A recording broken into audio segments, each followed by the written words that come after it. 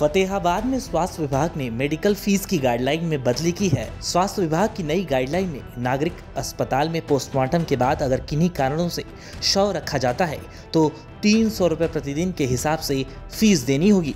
लेकिन पहले इस तरह के मामले में पचास रुपये ही फ़ीस ली जाती थी। हालाँकि पोस्टमार्टम प्रक्रिया पहले की तरह ही फ्री रखी गई है और साथ ही लावारिस शव को रखने पर कोई शुल्क नहीं है।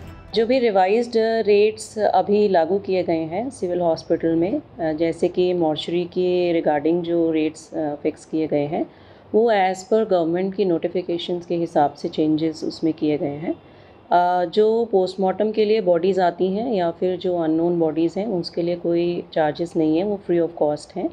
अगर कोई ऑन रिक्वेस्ट कोई प्राइवेट पार्टी अपनी आ, किसी डेड बॉडी को रखवाना चाहती हैं फ्रीज़र में तो उसके लिए as per government rates three hundred rupees per day के चार्जेस जो हैं वो लिए जा रहे हैं।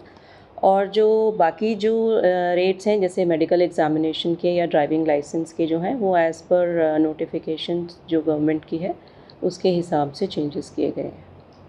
पोस्टमार्टम के बाद जो डेड बॉडीज रखने का पहले चार्जेस क्या था और पहले गवर्नमेंट के जो फिक्स चार्जेस थे उसके हिसाब से लिए जा रहे थे फिफ्टी रुपीज़ पर डे का था। अभी जो revised rates three hundred per day के हिसाब से ले रहे हैं।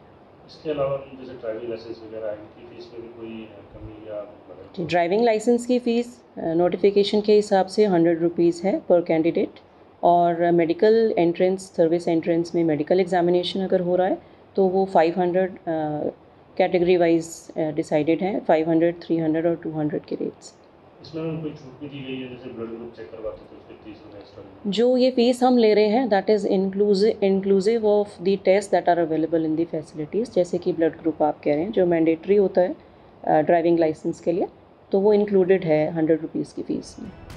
इसके अलावा हरियाणा स्वास्थ्य विभाग ने कुछ अन्य मेडिकल फ़ीस की गाइडलाइन में कुछ फेरबदल किया है। नई गाइडलाइन में मेडिकल करवाने और एमएलसी फ़ीस को लेकर कुछ राहत दी गई है। इसके अलावा कुछ नई फ़ीस भी लागू की गई है। विभाग ने बीपीएल आयुष्मान, विधवा, दिव्यांग, डिलीवरी से पहले और डिलीवरी 42 दिन के बाद तक कोई केस आता है तो उसकी भी फ़ीस नहीं ली जाएगी।